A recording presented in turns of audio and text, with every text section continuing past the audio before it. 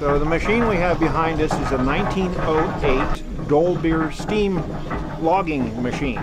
And its purpose was to pull logs through the forest so that they would eventually be transported to the sawmill.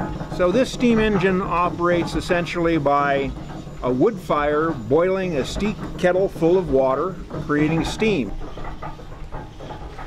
Carries a variety of whistles on it, but back in the day really it only had one whistle for purposes of communication within the forest. If there was a need for communication over the side of a hill.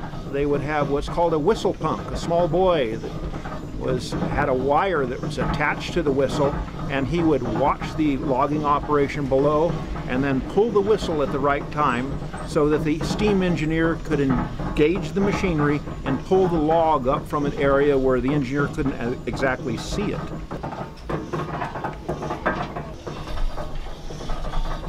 So what we will be doing is a demonstration of how this machine actually moved logs through the forest.